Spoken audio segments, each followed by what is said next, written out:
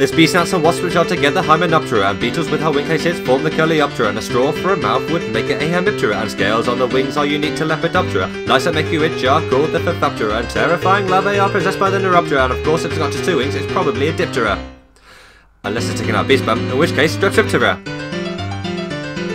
Emerging from the water you might see a Ephemeroptera, but if the larva live in cases it will be Trichoptera. Jumping in the grass you can hear the loud Orthoptera, but if the are on the bottom then more likely Siphonaptera.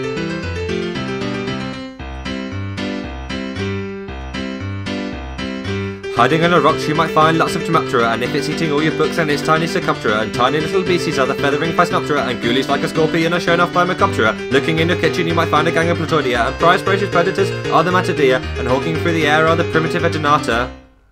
And if it looks like a stick, then it's gotta be Phasmatodea. We don't often see the snake-like Raphidioptera, and down by the river we can find the Megaloptera, but if the wings are held flat, it's actually Plecoptera, not forgetting Embioptera, Notoptera, and Zoraptera. These are the only ones of which the news has come from the Natural History Museum. There may be many others, but I guess that's up to taxonomists to decide.